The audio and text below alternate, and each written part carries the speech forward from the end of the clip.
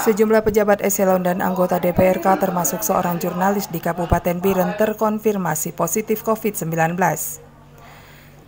Konfirmasi ini berdasarkan hasil swab tes yang dilakukan pada Senin 28 September 2020 lalu dan hasilnya keluar pada Jumat malam. Dari 148 sampel swab tes pada 28 September lalu, 74 di antaranya sudah diketahui hasilnya dan 9 orang terkonfirmasi positif COVID-19. Mereka yang terkonfirmasi positif COVID-19 diwajibkan menjalani isolasi mandiri di rumah masing-masing.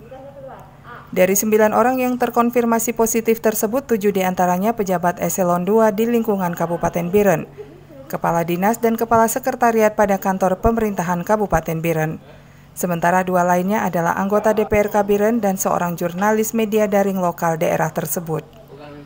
Kesembilan orang yang dinyatakan positif tersebut tidak menampakkan gejala atau berstatus OTG. Karenanya mereka tidak dirawat di rumah sakit, namun menjalani isolasi di bawah pemantauan tim medis. Juru bicara gugus tugas COVID-19 Biren Husaini mengatakan pihaknya akan terus melakukan tracing ke sejumlah orang yang kontak erat dengan mereka. Tracing dilakukan untuk memutuskan mata rantai penyebaran COVID-19 di Kabupaten Biren. Jadi bagi mereka yang positif ini memang disebut dengan istilahnya dengan OTG, orang tanpa gejala, dan mereka pada saat ini sedang melakukan sudah melakukan isolasi mandiri menyangkut dengan tempat tugas mereka itu pelayanannya tetap berjalan sebagaimana sebagaimana biasa. Kemudian bagi mereka yang mempunyai kontak, er, erat dengan yang bersangkutan itu akan dilakukan swab.